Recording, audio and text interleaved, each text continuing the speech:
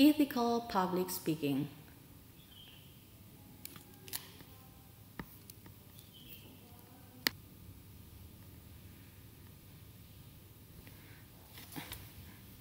Ethical public speaking. Seperti yang kita ketahui, kata etik sendiri itu berasal dari makna yang berarti sebuah moralitas. On a personal level, it is your own standard of what you should and should not do in the various situations or in all situations. Kenapa sih kok kita perlu banget untuk mempelajari tentang etika dalam public speaking. First and foremost, your audience not only need to believe in your words and message, but they need to trust you as the message giver. Karena ketika Anda berhasil untuk membangun sebuah uh, kredibilitas, maka publik atau audience akan percaya dengan apa yang Anda katakan. Tentu saja tidak mudah untuk membangun etika tersebut, tapi Tentu saja tujuannya adalah to build credibility. Jika Anda sudah punya kredibilitas, maka Anda akan lebih mudah dipercaya oleh orang-orang yang mendengarkan Anda. Berbeda lagi jika Anda sendiri tidak punya kredibilitas, maka akan sulit orang untuk percaya. So why? So how to build credibility? You need to learn about ethical public speaking. That's why in this meeting, we learn about ethical public speaking.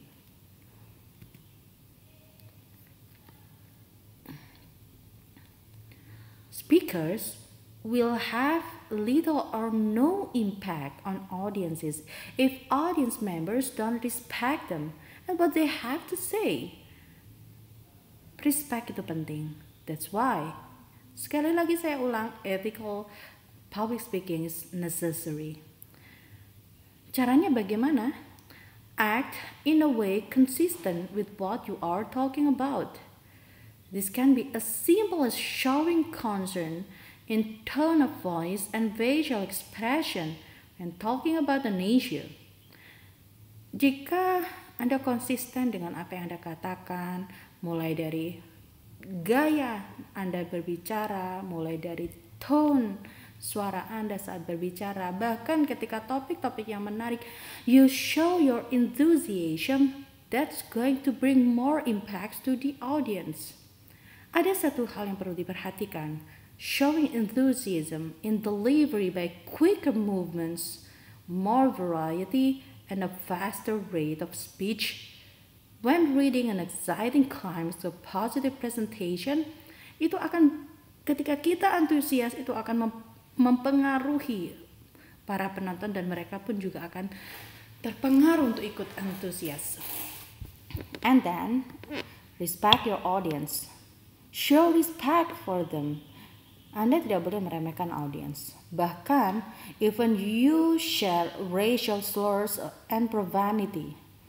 Anda menyebutkan merendahkan salah satu kelompok, menghina penonton, menghina audience itu akan membuat orang lain merasa bahwa you don't respect them.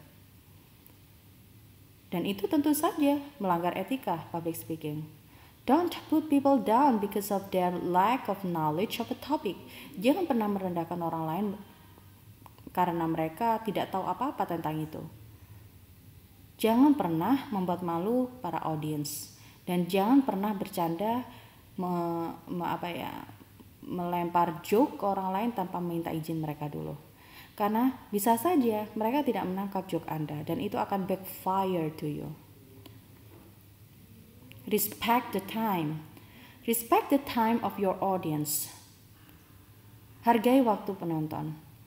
Karena if no you know what time you are expected to finish and then finish at the time. Don't make it longer. Jangan pernah Anda merasa ah nggak apa-apa dipanjangin lagi pengen ngomong banyak nih aku panjang-panjangin ah kesempatan no you have to respect the time if you respect the time you will not insult the audience. Apakah anda pernah berpikir bagaimana audience pun juga orang yang sibuk yang perlu untuk melakukan hal lain selain mendengarkan anda? That's why respect the time. And then trustfulness. An ethical public speaking will be truthful in his or her speech and will not tell lies to the audience. Mereka tidak akan pernah berbohong karena a speaker should not deviate from the truth to satisfy certain needs. Kita tidak boleh berbohong hanya untuk biar menyenangkan para audiens. Lebih baik berkata yang benar, tetapi itu membuat Anda semakin reliable di mata para audiens.